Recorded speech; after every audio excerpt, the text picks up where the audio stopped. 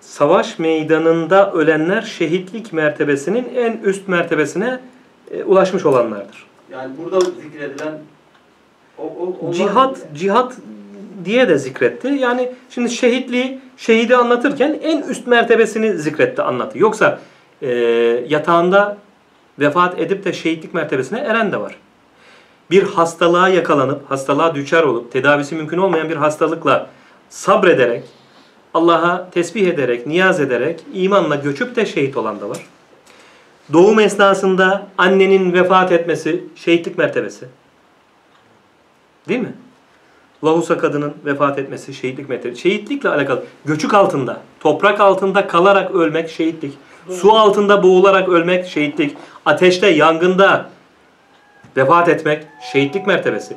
Bunlar hep şehitlik mertebesi. Bunlar hep mertebe mertebe. Tabii ki. Şehitliğin de kendi arasında dereceleri var. Ama en üstünü Allah için, Allah yolunda cihad ederek canını ortaya koyan şehit. En üstün mertebesi o. Burada bir ayrıntı vardı hocam. Şehitlerin sevinmelerinin sebebi ölmeden ulaştıkları cennettir. Evet. Derken ölmeden Çünkü öl- ulaştık- ölmüyorlar. Onlar diridirler diyor ya Allahu Teala şehitler için. Beden- Ölmeden cennete ulaşmış oluyorlar. Tabi. Onlar Rableri katında rızıklandırılırlar buyuruyor ya Allahu Teala. Tabi. bedensel boyutta.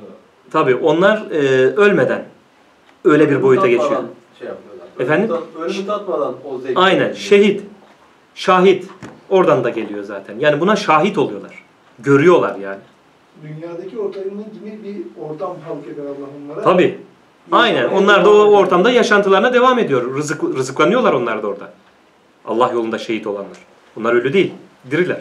Aynı bizim bu dünyadaki yaşantımız gibi. Onlar da yaşadıkları bir alan var.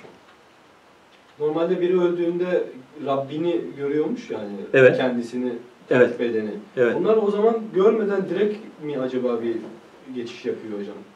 Yok görüyor. Bunlar da görüyor. Rablerini görüyorlar ama bunlar çünkü çünkü orada o ölümü tadışla, şehit olarak tadışla öyle bir lezzet alıyorlar ki hatta şehitler şunu ister diyor. Tekrar beni dünyaya gönderse Allahu Teala, tekrar tekrar şehit olsam.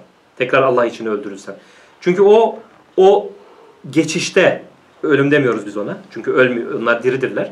O geçişte, o şehit olmadan, şahit olmadan geçişte nasıl bir lezzet ve haz alıyorsalar o haz başka bir şeyle kıyas edilemeyecek bir haz ki şehitler tekrar talep ediyor onu.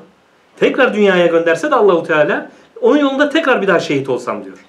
Onu yaşayan bilir tabii ki. Kırmızı halıyla karşılıyorlarmış. Artık yani kırmızı kırmızı halıyla mı karşılıyorlar?